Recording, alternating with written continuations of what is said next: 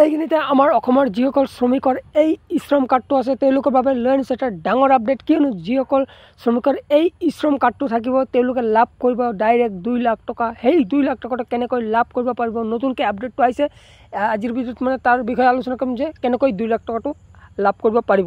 সেইবাবে ভিডিঅ'টো স্কিপ নকৰাকৈ শেষলৈ থাকিব। প্ৰথমে আপোনালোকে চাওক যে ইয়াত শ্ৰমত পঞ্জীয়নকৃত আৰু দুৰ্ঘটনা মৃত্যু হোৱা বা অংগক্ষত হোৱা অসংগঠিত শ্ৰমিকলৈ আৰ্থিক সাহায্য। আপোনালোকে গম পাইছে যে এই আঁচনিটো কিহৰ কাৰণে আনিছে। প্ৰথমে এতিয়া আমি জানিলোঁ যে দুই লাখ টকাটো কাক কাক দিয়া হ'ব কিন্তু সকলোৱে দুই লাখ টকাটো নাপায়। ইয়াত আৰু এটা আছে এক লাখ টকাও পাব। এই দুৰ্ঘটনাত মৃত্যু হোৱা শ্ৰমিকলৈ দুই লাখ টকা। প্ৰথম আমি চাই লওঁ যে দুই লাখ টকাটো কোনে কোনে পাব। এই দুই লাখ টকাটো চাব পাৰিছে আপোনালোকে ইয়াত। দিয়া আছে আপোনালোকে।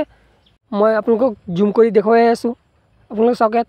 দৃষ্টিশক্তি ঘূৰাই নোহোৱালৈকে দুই দুয়োটা চকু সম্পূৰ্ণৰূপে নষ্ট হোৱা অথবা স্বাভাৱিক অৱস্থালৈ ঘূৰাই আনিব নোৱাৰালৈকে দুখন হাত বা দুখন ভৰি সম্পূৰ্ণৰূপে ব্যৱহাৰ অযোগ্য হোৱা অথবা স্বাভাৱিক অৱস্থালৈ ঘূৰাই আনিব নোৱাৰাকৈ এখন হাত আৰু এখন ভৰি সম্পূৰ্ণৰূপে ব্যৱহাৰ অযোগ্য হোৱা অথবা দৃষ্টিশক্তি ঘূৰি নোহোৱালৈকে এটা চকু সম্পূৰ্ণৰূপে নষ্ট হোৱা আৰু এখন হাত বা এখন ভৰি সম্পূৰ্ণৰূপে ব্যৱহাৰ অযোগ্য হোৱা ক্ষতি। আপোনালোকে গম পালে যে এই দুই লক্ষটো কোনে কোনে পাব? আপোনালোকৰ এই ইয়াত মই যিটো পঢ়ি শুনালোঁ আপোনালোকে ইয়াৰ যদি কোনো ধৰণৰ সমস্যা হয় তেন্তে আপোনালোকে এই দুই লাখ টকাটো লাভ কৰিব।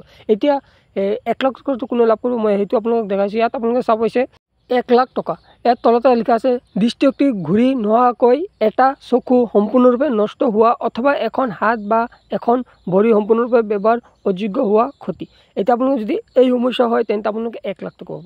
যদি আপোনাৰ এই আগৰখিনি সমস্যা হয় তেন্তে আপোনালোকে দুই লাখ টকা পাব। আৰু যদি আপোনালোকৰ এই দ্বিতীয় সমস্যাটো হয় তেন্তে আপোনালোকে এক লাখ টকা পাব।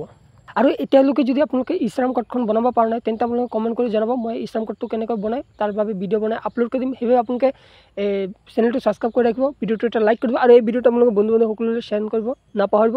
আৰু আশা কৰিছোঁ আপোনালোকে বুজি পাইছে। আজিলৈ ইমান টাইম পুনৰ লগ পাওঁ নতুন এটা ইনফৰ্মেটিভ ভিডিঅ'লৈ তেতিয়াহ'লে আপোনালোকলৈ ধন্যবাদ।